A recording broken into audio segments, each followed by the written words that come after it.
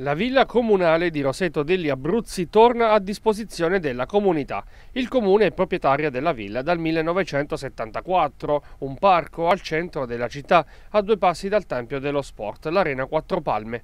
Un luogo chiuso per troppi anni ed ora, specialmente in questa caldissima estate, potrà essere luogo di refrigerio all'ombra di piante secolari. Ma non solo, perché da oggi il parco tornerà ad essere anche spazio di riposo e cultura. Questo giardino, questo parco, questo spazio al centro della città è uno spazio che deve vivere, deve vivere per i cittadini, deve vivere per i turisti, deve vivere per gli eventi che sono già iniziati. Abbiamo voluto sancire con questa conferenza stampa questo momento perché vogliamo far percepire come le cose avvengono non perché per caso, ma avvengono perché c'è un impegno. Da qui a poche settimane, forse qualche mese, riapriremo anche il piano terra che è in fase di collaudo. Insomma, un gran lavoro che messo insieme con la biblioteca comunale restituisce la bellezza di questa roseto attraente e attrattiva.